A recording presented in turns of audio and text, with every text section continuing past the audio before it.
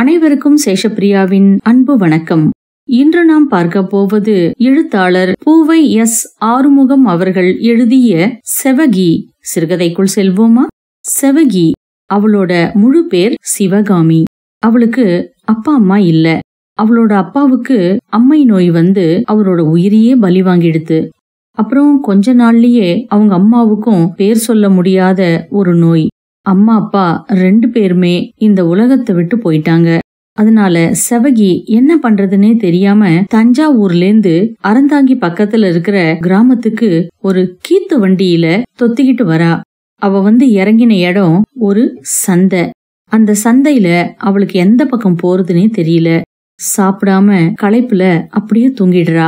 அங்க சாப்பாடு விக்கிற ஒரு ஆயா. அவங்க செவகிய பக்கத்துல வந்து தொட்டு பார்த்து அவளுக்கு சாப்பாடும் கொடுக்கறாங்க. அந்த சந்தைக்கு மாடு வாங்கறதுக்கு ஏகாம்பரம்னு ஒருத்தர் வராரு. அவர் செவகிய பார்த்து ரொம்ப இறக்கப்படுறாரு சரி நீ என் கூடயே வந்துருமா எனக்கு ஆடு மேய்க்கிறதுக்கு ஒரு ஆள் வேணும் அப்படின்னு சொல்லி கூட்டிக்கிட்டு வராரு.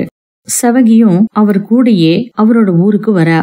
அங்க வந்ததுக்கு அப்புறம்தான் இந்த ஏகாம்பரம் எவ்வளவு கோவக்காரர்னு அவளுக்கு புரியறது. அவரோட மீசைய பார்த்தாலே அவளுக்கு ரொம்ப கலக்கமா இருக்கு.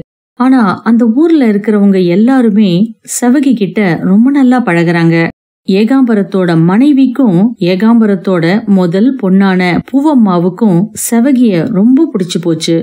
இப்படிதான் செவகி அப்படின்ற அந்த சிவகாமி தினமும் அந்த ஏகாம்பரத்துக்கிட்ட இருக்கிற செம்மறி ஆடிகளோட மேய்ச்சலுக்காக காட்டுக்கு போவா. நிறைய சிறுவர்கள் அங்க மாடு மேய்க்க வருவாங்க ஆடு மேய்க்க வருவாங்க. அவங்கள ஒத்தந்தான் ராமையா. அவன் ரொம்ப ஆசையா தங்கச்சி செவகி அப்படின்னு கூப்பிடுவான். எப்பவுமே செவகி கையில நீளமான ஒரு கழி இருக்கும். அந்த கழிய சுழட்டிக்கிட்டே ட்ரியோ ட்ரியோன்னு கத்திக்கிட்டு நடங்க நடங்க ஓடுங்க அப்படின்னு அந்த ஆடுகள் எல்லாம் மேய்ச்சிக்கிட்டே இருப்பா சிவகாமி. அவ கையில் இருக்கிற அந்த கழி அடிக்கடி இடது கைக்கும் வலது கைக்கும் மாறிக்கிட்டே இருக்கும். அந்த கொஞ்ச நாட்கள்லயே அந்த செம்மறி ஆடுகளுக்கு கூட செவகி மேல ரொம்ப பாசம் வந்துருது. அதுல ஒரு ஆடு நல்லா கொழு கொழுன்னு இருக்கும். ஆனா அந்த ஆட்டை தான் ஏகாம்பரம் கோவிலுக்கு படையலுக்கு விட போறாரு. ஏன்னா பூவம்மாளுக்கு அதாவது ஏகாம்பரத்தோட முதல் பொண்ணு அவளுக்கு அம்மை நோய் வந்தது. என் பொண்ணை காப்பாத்தினா நான் ஒரு ஆடு கொடுக்கறேன்னு இவர் நேர்ந்துகிட்டாரு. அதுக்காக தான் அந்த செம்மறி ஆட்டை பார்த்து பார்த்து வளர்க்கறாரு ஏகாம்பரம். அந்த செம்மறி ஆட்டு மேல அதிகமா பாசம் வச்சிருந்தா செவகி. அவளுக்கு உள்ளுக்குள்ள எதுக்கு இந்த செம்மறி ஆட்டை போய் படையலுக்கு கொடுக்கணும். பாவம் அதுவும் ஒரு வாயில்லா ஜீவன் தானே அப்படின்னு அது பக்கத்துல போய் தடவி தடவி அழுவா செவகி. ராமையா செவகிக்கு கொடுக்காம எதுவுமே சாப்பிட மாட்டான். புளியம்பழம் பறிச்சிட்டு வந்தாலும் முதல்ல செவகி கிட்ட கொடுத்துட்டு அப்புறம்தான் மீதியை தான் சாப்பிடுவான். அதே மாதிரிதான் ஏகாம்பரத்தோட முதல் பொண்ணு பூவம்மா கூட. அவ வீட்ல எது இருந்தாலும் முதல்ல செவகிக்கு கொடுத்துட்டு தான் அவ சாப்பிடுவா. ஏகாம்பரத்தோட மனைவியும் அப்படிதான். செவகிய தன்னோட குழந்தையாவே நினைச்சா செவகி காட்டுல ஆடு மேய்ச்சிக்கிட்டே இருக்கும்போது உன்னை பார்த்தா பாவமா இருக்கு செவகி. இவ்ளோ நேரம் வெயில்லயே அலையறியே. கொஞ்ச நேரம் நீ தூங்கு நாங்க உன்னோட ஆடுகளை பாத்துக்கிறோம் அப்படின்னு ராமையா மத்த பசங்கள்லாம் சொல்லுவாங்க. ஆனா செவகி தூங்கவே மாட்டா. ஐயோ நரி வந்து அடிச்சு போட்டுரும். அப்புறம் முதலாளி கிட்ட யாரு விசவ வாங்கி கட்டிக்கிறது? அவரோட மீசைய பார்த்தாலே எனக்கு பயம். அப்படின்னு சொல்லுவா செவகி. பணந்தோப்புல ஒரு தடவை கட்டு சோறு சாப்பிட்டுட்டு இருந்தாரு ஒரு வயசானவர். செவகி மேய்ச்சிக்கிட்டு இருந்த அந்த செம்மறியாட்டு கூட்டத்துல ஒன்னு வேகமா போய் அவரோட சாப்பாட்டை தள்ளி விட்டுருது அவர் ஒரு பெரிய கல்லை எடுத்து செம்மறியாட்ட அடிச்சிட்டாரு. செவகிக்கு இப்போ கண்ணுலேருந்தே ரத்தம் வர ஆரம்பிச்சிடுது அவளுக்கு ஒரே பதப்பதைப்பா இருந்தது. அந்த செம்மறி ஆட்டை தாய் போல அப்படியே அணைச்சு உட்கார்ந்தா அடிப்பட்ட காலை தடவி கொடுத்தா அதோட கால் நடுங்கின்றே இருந்தது. இவளுக்கும் கண்ணுலேருந்து தண்ணி வந்துட்டே இருந்தது. தங்கச்சி தொண்டை வலிக்க இப்படி ட்ரியோ ட்ரியோன்னு கத்திக்கிட்டே இருக்கியே. இந்தா பனம்பழம் சாப்பிடு. அங்க மாடு மேய்ச்சிக்கிட்டு இருந்த ராமையா பனம்பழத்தை கொடுத்தான். செவகியும் ஆனந்தமா அந்த பனம்பழத்தை வாங்கி சந்தோஷமா சாப்பிட்டா. இப்போ அவளுக்கு தாகமே எடுக்கல. மாடு மேய்ச்ச சிறுவர்களுக்கு நடுவுல இந்த ஆடுகளும் அடக்க ஒடுக்கமா இருந்தது. இதுல பிரமன்னு ஒருத்தன் தங்கச்சி எதுக்கு அழுத? அப்படின்னு கேட்டான். ஆமாண்டா அப்படிதான் தோணுது அப்படின்னு அக்கறையா ரங்கன்னு ஒரு பையன் சொன்னான். இப்போ செவகி தான் அழுத காரணத்தை சொல்லணுமா வேண்டாமான்னு யோசிச்சா. இருந்தாலும் அக்கறையோட கேக்குறவங்கள நம்ம அவமரியாதை பண்ணக்கூடாதுன்னு ஆமா அழுதேன்தான் அந்த செம்மறி ஆட்டோட காலை ஒரு கிழவர் கல்ல வீசி நசுக்கி புட்டாரு. பாவம் இதுக்கு எப்படி வலிக்கும்? நம்மெல்லாம் நம்மளோட வலிய பேசி ஆறுதல் பட்டுக்கிடலாம். ஆனா இந்த ஆட்டுக்கு அந்த பாக்கியம் இல்லையே. அத நினைச்சா இந்த பனம்பழம் கூட எனக்கு பிடிக்க மாட்டேங்குது அப்படின்னு சொல்லிட்டு பாதி சாப்பிட்டுட்டு இருந்த பனம்பழத்தை தூக்கி போட்டுட்டா செவகி. அப்போ ராமையா சொல்றான் உனக்கு எவ்வளோ இறக்கம் இருக்கு. ஆனா உன் மேல அந்த கடவுளுக்கு இறக்கமே இல்லையே அப்படின்னு ரொம்ப வருத்தப்பட்டான். ரங்கம் கூட ஆமா ஆமா அப்படின்னு சொன்னான். செவகிய இறக்கத்தோட பார்த்தான். செவகி இதுக்கெல்லாம் கவலையே படல. ஆமா தலைக்கு மேல அழுத்தி அழுத்தி எண்ணெய் வச்சு தேய்ச்சாலும் தலையெழுத்த யாரால மாத்த முடியும் அப்படின்னு வேதாந்தமா பேசினா அதிகமா அழுததுனால அவளுக்கு தூக்கமே வந்துடுது அவளுக்கு தூக்கம் வர்றத தெரிஞ்சுட்டான் ராமையா. தங்கச்சி உனக்கு தூக்கம் சொக்குது. வேணும்னா கொஞ்ச நேரம் நீ நிழல்ல படுத்துக்க. உன்னோட செம்மறி ஆடுகளையெல்லாம் நாங்க கவனிச்சுக்கிறோம் அப்படின்னு சொன்னான் ராமையா. ஆனா பத்து தப்படி தொலைவுல நரிகளோட ஊழ சத்தம் கேட்டுது. உடனே சிவகாமி ஆத்தாடி வேண்டாம் வேண்டாம். நரிகள்லாம் கூட்டமா காட்டுல கத்துது.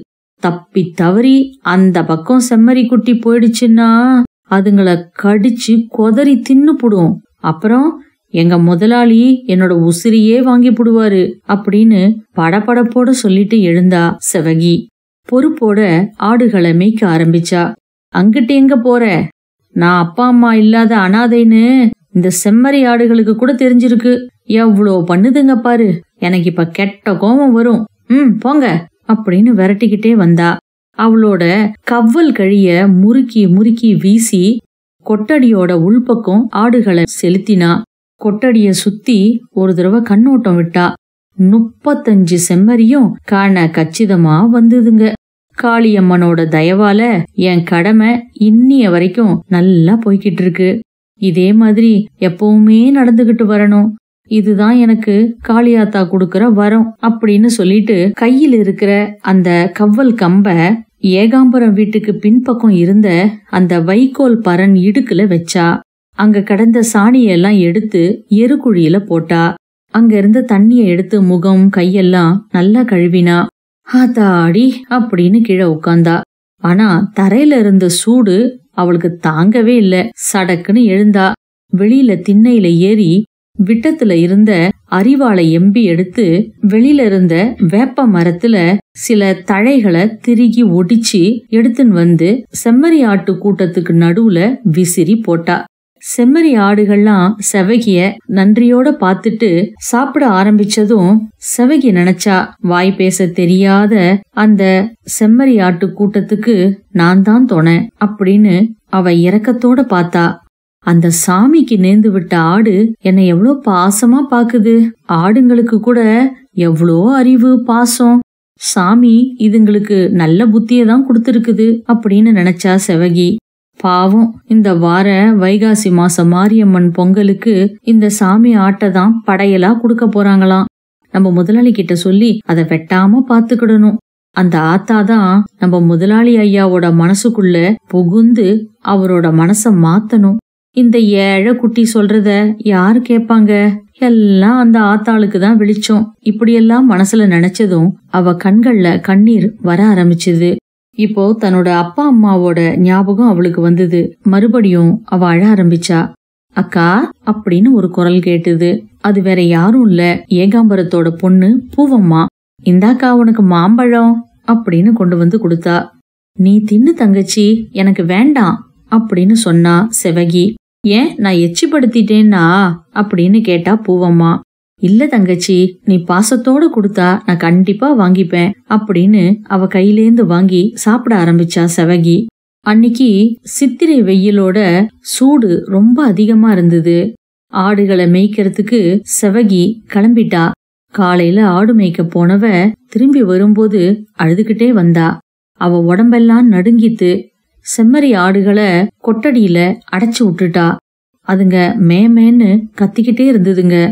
ஏகாம்பரம் யார்கிட்டயோ ரொம்ப சத்தமா பேசிக்கிட்டு இருந்தாரு. ஆமாங்கிறேன் என் மச்சினன்தான் என் மச்சினனா இருந்தாலும் கடன் ரூபா ஆயிரத்தையும் அவன் எனக்கு திருப்பி தரலன்னா அவன் மேல வழக்கு போடுவேன். இந்த ஏகாம்பரம் சங்கதி அவருக்கு தெரியல. கொண்டாங்கொடுத்தான்னு அலட்சியமா இருந்துட்டான். இப்ப வட்டியும் கொடுக்கறது இல்ல அசலையும் ஏமாத்த பாக்குறான். நரிக்கு நாட்டாண்மை கொடுத்தா அது கடைக்கு ரெண்டு குட்டி கேக்குமா. அந்த கதையாத்தான் இருக்கு. என்ன பார்த்து ஈவிரக்கம் இல்லாதவன்னு கேக்குறான். நீங்களே கேளுங்க. ஒரு தடவை செவ்வாய் சந்தைக்கு போயிருந்தேன். அனாத பொண்ண பார்த்தேன். பார்த்த உடனே எனக்கு எவ்வளோ இறக்கம் வந்தது. கையோட கூட்டியாந்து ஆடு மேய்க்க வச்சுக்கிட்டேன். அவ வயிறு முழுக்க முழுக்க நல்ல சாப்பாடு போடுறேன். வருஷத்துக்கு ரெண்டு தடவை பாவாடை சட்டை எல்லாம் வாங்கி கொடுக்கறேன். அவளுக்குன்னு வேலைக்காரிக்கு செய்யற சமையல்லாம் கிடையாது. நாங்க சாப்பிடுற சாப்பாடு தான் அதுக்கும் போடுறோம். உங்களுக்கு நம்பிக்கை இல்லைன்னா இன்னும் கொஞ்ச நேரத்துல அந்த குட்டி வரும். அதுங்கிட்ட நீங்களே விசாரிங்க அப்படின்னு அவர் சொல்லிக்கிட்டு இருந்தாரு. இவரோட குரல் செவகிக்குள்ள பயத்தை தான் உருவாக்கித்து இப்போ செம்மறி ஆடுகள்லாம் கதற ஆரம்பிச்சுது. என்னது? செம்மறிங்கெல்லாம் கத்துது? இன்னும் அந்திய சாயல? அதுக்குள்ளேயா மேய்ச்சல் விட்டு திரும்பிடுச்சு அப்படின்னு தனக்குத்தானே கேட்டுக்கிட்டு வாசப்பக்கம் வந்தார் ஏகாம்பரம். அங்க செவகி அழுதுகிட்டு இருந்தா. ஏய் செவகி என்ன இன்னைக்கு நேரத்தோட திரும்பிட்ட? அப்படின்னு கேட்டாரு. அவ பதிலே சொல்லல. கேவி கேவி அழுதா. ஏய் எல என்ன சங்கதி? விஷயத்த சொல்லு குட்டி அப்படின்னு சொன்னாரு. அவ பயத்தோட ஒரு தப்பு நடந்துருச்சு முதலாளி மத்தியானம் உச்சி வெயில்ல தலைவலி தாங்கவே முடியல. அதனால காட்டுல ஆடுங்க புல்லு மேய்ஞ்சுக்கிட்டு இருக்கும்போது அப்படியே கண்ணு அசத்திருச்சு. இன்னைக்குன்னு பார்த்து ராமையா அண்ணாச்சி வேற வரல. அதனால முழிச்சு பாக்குறேன் அப்படின்னு நிறுத்தினா இந்த பாரு சீக்கிரம் விஷயத்த சொல்லு. எனக்கு கோவமா வருது அப்படின்னு கத்தினார் ஏகாம்பரம். மத்த ஆடுங்க எல்லாம் ஒரே இடத்துல இருக்கும்போது சாமிக்கு நேர்ந்து விட்ட ஆடு மட்டும் காட்டுக்குள்ள போயிடுச்சு. நான் தேடிட்டு போகும்போது நான் தேடிட்டு போகும்போது அப்படின்னு அழுதா. என்னடி ஆச்சு? அப்படின்னு கேட்டாரு. அந்த ஆட்டை நரி கடிச்சு தின்னு பிடிச்சு முதலாளி அப்படின்னு அவ நிறுத்தவே இல்லை. அதுக்குள்ள அவ தலைமுடிய பிடிச்சு அவ முதுகுலையும் கன்னத்துலயும் மாறி மாறி அறைய ஆரம்பிச்சார் ஏகாம்பரம். சுருண்டு விழுந்தா சிவகாமி. செம்மறி ஆட்டை இப்படி உசிரோட பறி கொடுத்துட்டியே. ஆத்தா என்ன செய்ய போறாளோ அப்படின்னு அலறினாரு. அந்த நேரத்துல ஒரு வயசானவர் வந்து ஏகாம்பரத்தை தடுத்தாரு. அவரை பிடிச்சி தள்ளினாரு ஏகாம்பரம். தள்ளிட்டு மறுபடியும் அடிக்க ஆரம்பிச்சாரு. இப்போ உள்ள இருந்து அவரோட பிள்ளத்தாச்சி மனைவியும் பூவம்மாளும் ஓடி வந்தாங்க. மச்சான் மச்சான் அது அனாத குழந்தை அடிக்காத மச்சான் அப்படின்னு கெஞ்சினா வள்ளியம்ம. அக்கா பாவம்பா அடிக்காதப்பா அப்படின்னு பூவம்மாளும் குறுக்கல வந்து தடுத்தா. இவங்க ரெண்டு பேரையும் புடிச்சு தள்ளாத குறையா ஓரமா நிக்க வச்சுட்டு மறுபடியும் கீழே இருந்த கழிய எடுத்து ஆத்திரத்தோட செவகியோட தலையில அடிக்க போனாரு. நல்ல வேளை செவகி தலைய நகர்த்திக்கிட்டா. அக்கம் பக்கம் இருக்கிறவங்க எல்லாரும் ஓடி வந்தாங்க. ஆனா செவகிக்காக யாரும் ஒரு வார்த்தையும் பேசல. ஆனா அந்த செம்மறி ஆட்டு கூட்டம் ரொம்ப ஓலமிட ஆரம்பிச்சிடுது செவகிய பார்த்து பார்த்து சத்தமா கத்த ஆரம்பிச்சிடுது செவகி கதறினா ஐயோ முதலாளி இனிமே சத்தியமா நான் இப்படி மெத்தனமா இருக்க மாட்டேனுங்க. என்னை அடிக்காதீங்க. இனிமே அடிச்சிங்கன்னா எனக்கு தாங்காதுங்க சாமி. இந்த அனாதைய நீங்க அடிச்சீங்கன்னா அந்த பாவம் அந்த தெய்வத்துக்கே அடுக்காதுங்க அப்படின்னு கை கூப்பினா.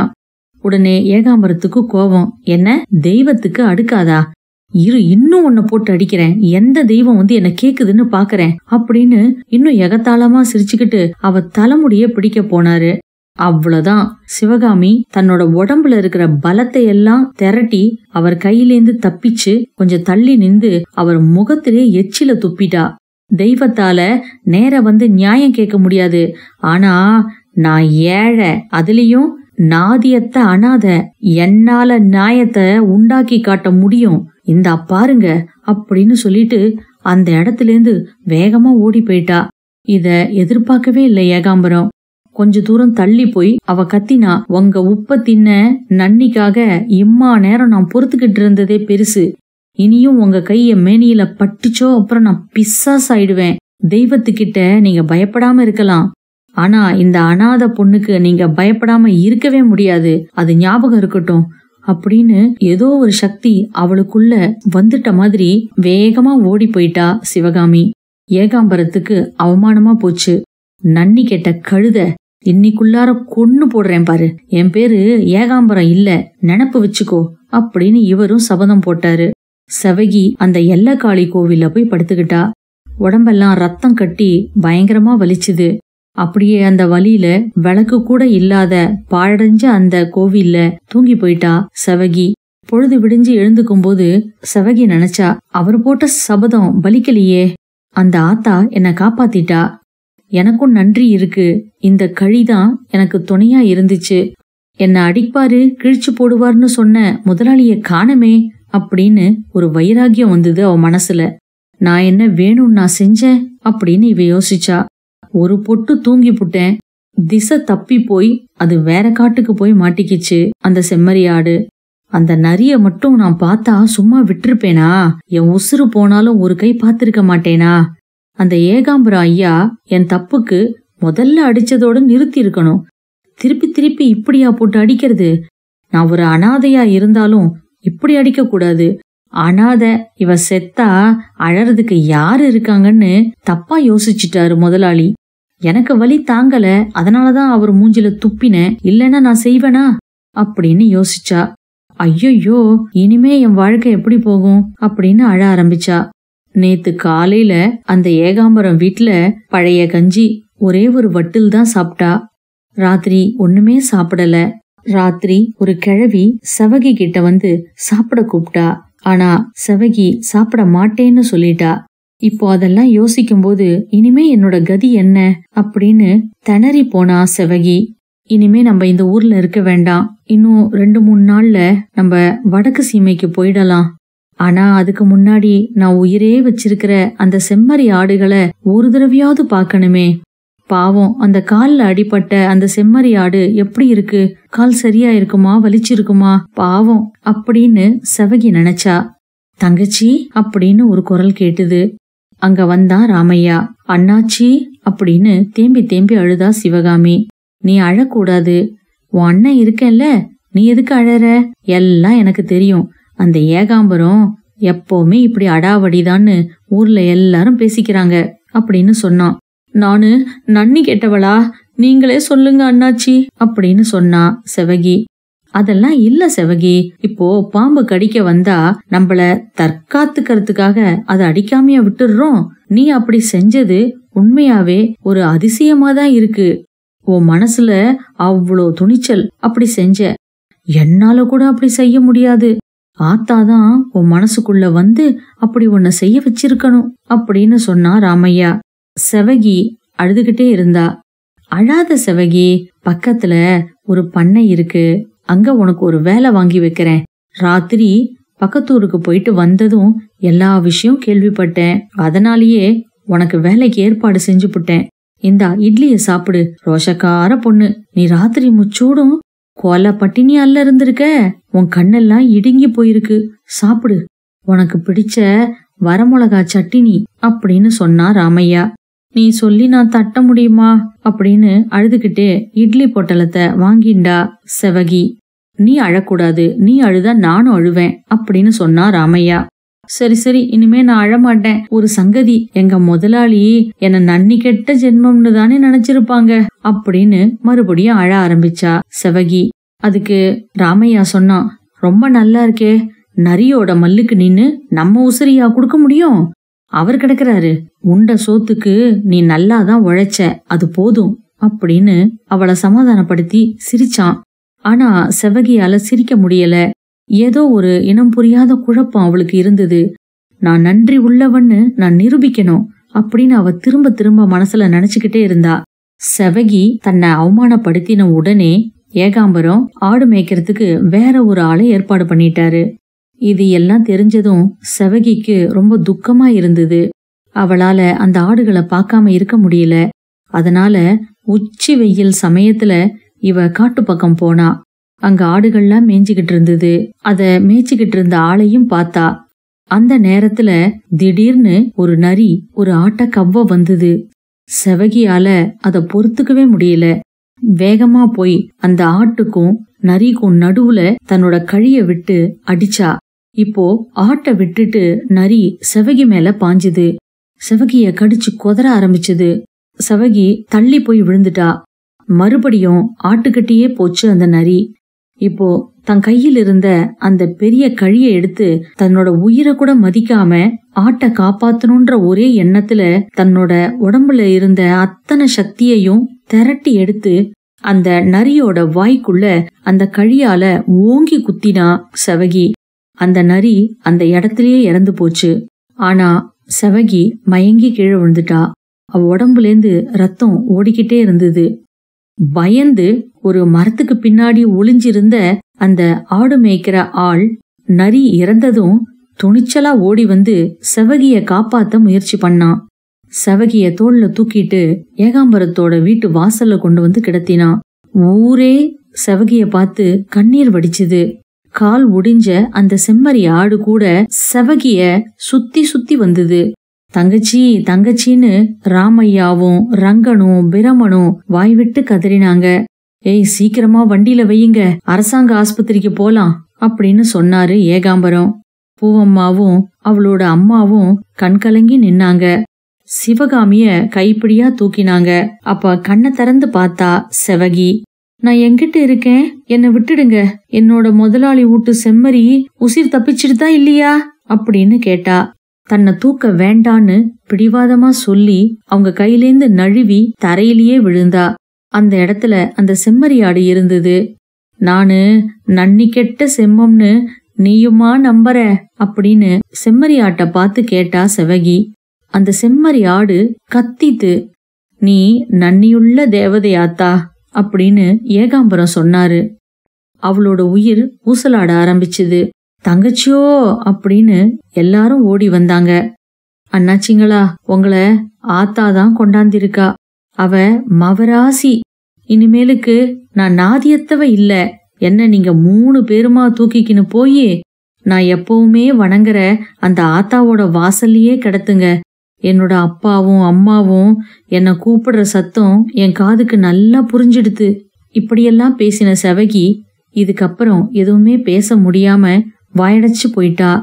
கண்கள் சொருக ஆரம்பிச்சுது. ஏகாம்பரம் தாயே என்ன மன்னிச்சிடுமா என்ன மன்னிச்சிடுமான்னு தன் தலையில ஓங்கி ஓங்கி அடிச்சு அழ ஆரம்பிச்சாரு. கிராமத்து மக்கள் பிரம்ம பிடிச்சு நின்னாங்க. இப்படியாக இந்த கதை முடிகிறது.